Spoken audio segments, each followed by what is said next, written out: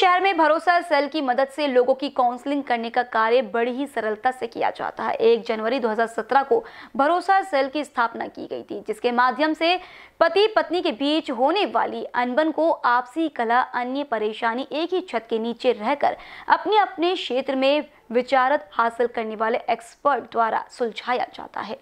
भरोसा सेलची सुरुवात अ, एक जानेवारी दोन हज़ार सतरा साली जर ज्या महिला तक्रारदार येतात भरोसा सेलला जे पती पत्नीचे कौटुंबिक वाद आहेत त्या तक्रारदार भरोसा सेलला येतात आणि त्यांना एका छताखाली सर्व सेवा उपलब्ध करून देण्यासाठी भरोसा सेलची निर्मिती झाली आहे.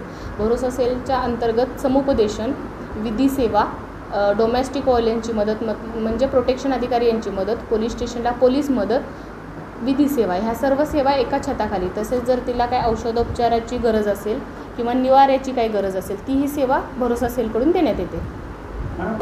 ज्या पत पती किंवा पत्नी दोघांची तक्रार आपण भरोसा सेलला घेतो ज्यांच्यामध्ये कु कौटुंबिक वाद आहेत म्हणजे जे फॅमिलीमध्ये सासू सासरे सासरचे लोक काही त्रास देत असतील हुंड्याची मागणी होत असेल काही छळ होत असेल शारीरिक व मानसिक छळ होत असेल तिचा किंवा तिला काही असॉल्ट होत असेल म्हणजे मारहाण हाताने मारहाण किंवा शिवीगाळ वगैरे होत असेल त्या संदर्भाच्या तक्रारी तसेच काही संशय विवाहबाह्य संबंध आहेत अशाही सं तक्रारी भरोसा सेलला प्राप्त होतात.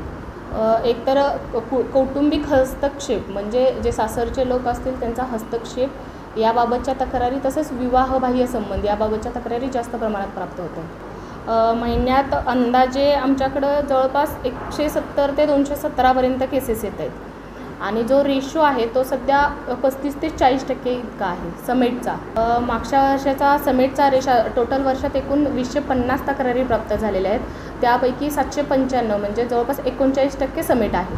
कैमरा पर्सन अखिलेश भारद्वाज के साथ रूपा पंडित बीसीएन न्यूज नागपुर.